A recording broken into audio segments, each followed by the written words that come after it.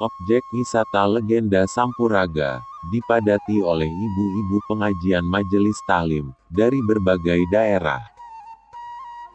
Terlihat di setiap lokasi di objek wisata Sampuraga ini memutih oleh ramainya ibu-ibu pengajian, yang berkunjung.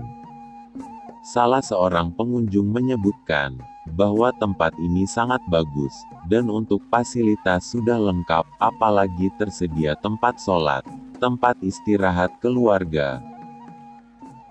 Terlihat beberapa pengunjung sedang khusyuk, melaksanakan ibadah sholat di tempat terapi batu, yang disediakan di sepanjang aliran sungai.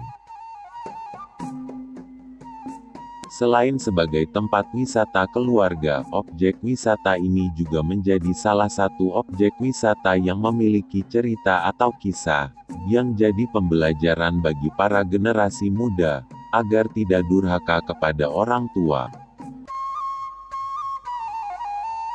Objek wisata legenda Sampuraga ini, berada di Desa Sirambas Kecamatan Panyabungan Barat, yang tercatat telah dikunjungi oleh ribuan orang, dari berbagai kabupaten kota, sejak direnovasi oleh pemerintah Kabupaten Mandailing Natal.